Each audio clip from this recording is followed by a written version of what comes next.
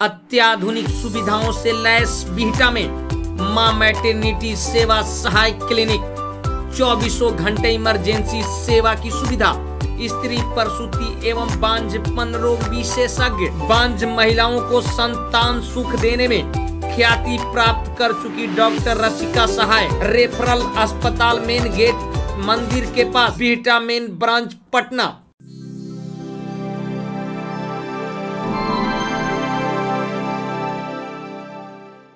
अब देख रहे हैं न्यूज़ प्राइम 24 मैं हूँ नवीन। इस वक्त बिहार से एक बड़ी खबर आ रही है, जहाँ दरभंगा में दिन दहाड़े बेखौफ अपराधियों ने सबसे बड़ी लूट की घटना को अंजाम देकर आराम से फरार हो गया है। जी हाँ, इस वक्त की बड़ी खबर दरभंगा से है, जहाँ करोड़ों की लूट की घटना को अंजाम देकर अपराधी फरार हो गए हैं। फरार होते वक्त बाज़ार में गोलियों की तड़तड़ाहट से पूरे बाज़ार को थर्रा दिया है। और पुलिस मौका वारदात पर 25 मिनट के बाद पहुँची है, जो सरकार और पुलिस पर सबसे बड़ी सवाल खड़ा हो रहा है। दरभंगा में दिन दहाड़े लुटेरों ने ज्वेलरी दुकान से करोड़ों के सोने, चांदी, हीरे जवाहरात के साथ कैश लूटकर फरार हो गया। फरार होते वक्त भरे बाज़ार में अपराधियों ने लूट की वारदात को अंजाम देने के बाद ताबड़तोड़ फायरिंग कर पूरे बाज़ार को थर्रा दिया, जिसका तस्वीर सीसीटीवी कैमरे में कैद हो गई है। वारदात सुबह 10 बजे की बताई जा रही है। दुकानदार जीव ही दुकान को खोला। उसी वक्त नकाबपोश अपराधियों ने दुकान में इनकर हथियार के बल पर घटना को अंजाम दिया है, जिससे सरकार और प्रशासन पर बड़ी सवाल खड़ा हो रहा है। सरकार अपराध को रोकने के लिए मैराथन मीटिंग कर रही है, लेकिन अपराधी भी भीषण डकैती जैसी वारदात को अंजाम देने में लगा है।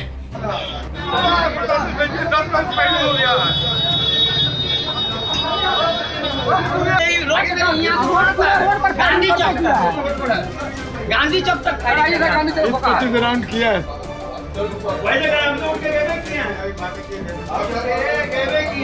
रिवॉल्वर की गोली किसने मारा है अपराधियों ने? अपराधियों ने मारा। अपराधियों ने चार पाँच आदमी आए थे रिवॉल्वर लेके उन्होंने सबको उसके बल पे खड़ा करके सब सामान को चार झोले में भर के लेके भागे। आपके साथ ये सर पे जो गोली चलाई है? पीछे दौड़ के चिल्लाया तो उन्होंने फायरिंग की, वही गोली सर के ऊपर से क्या नाम हुआ आपका? सुनील कुमार। क्या हुए यहाँ पे आप? रोज काट।